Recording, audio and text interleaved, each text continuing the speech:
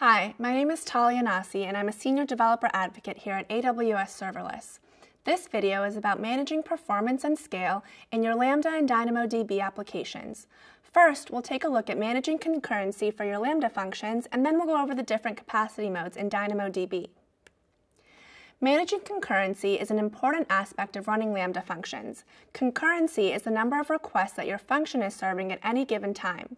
When your function is invoked, Lambda allocates an instance of it to process the event. When the function code finishes running, it can handle another request. However, if the function is invoked again while a request is still being processed, another instance is allocated, which increases the function's concurrency. There's two types of concurrency controls available, reserved concurrency and provisioned concurrency. Reserved concurrency guarantees the maximum number of concurrent instances for the function. When a function has reserved concurrency, no other function can use that concurrency. Provisioned concurrency initializes a requested number of execution environments so that they're prepared to respond immediately to your function's invocations. To enable your function to scale without fluctuations in latency, use provisioned concurrency. By allocating provisioned concurrency before an increase in invocations, you can ensure that all requests are served by initialized instances with very low latency. If you don't know what capacity to set, or you need some assistance in setting capacity, another option is application auto-scaling.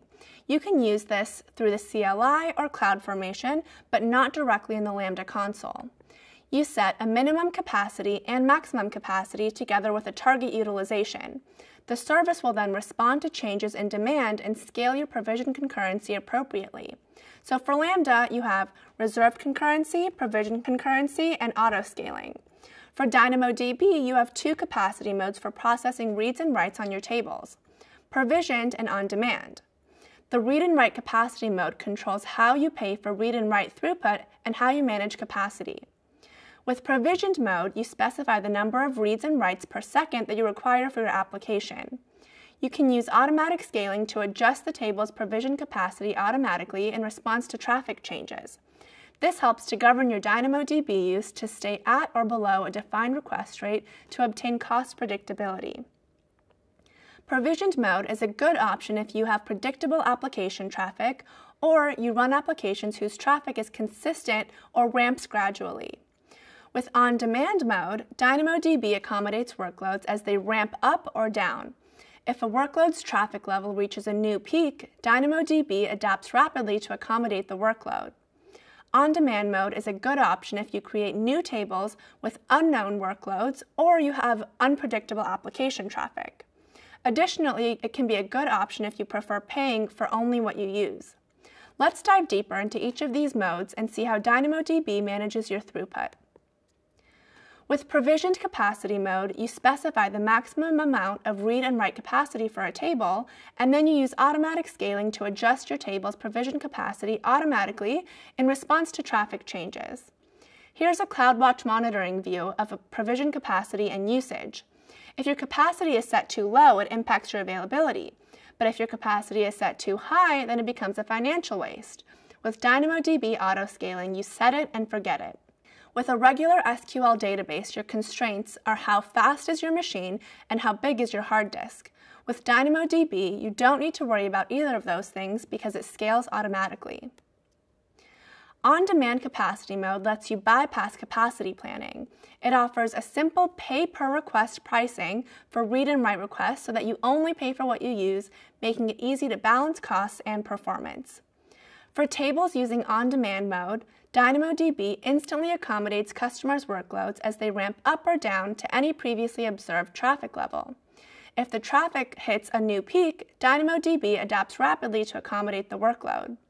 This eliminates the trade-offs of over-provisioning, where you waste money by paying for capacity, and under-provisioning, which affects your availability. So how do you know which mode is right for you?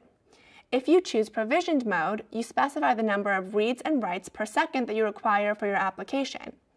You can use auto-scaling to adjust your table's provision capacity automatically in response to traffic changes. This helps you govern your DynamoDB use to stay at or below a defined request rate in order to obtain cost predictability.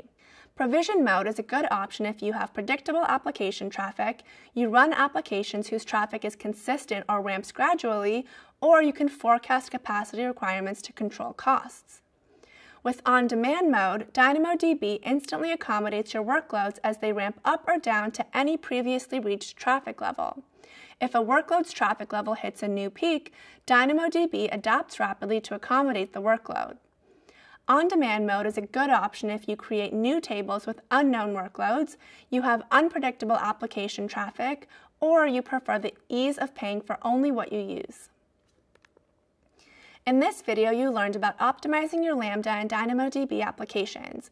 You learned about the differences between Lambda provision concurrency and reserved concurrency, and DynamoDB on-demand capacity mode and provision capacity mode.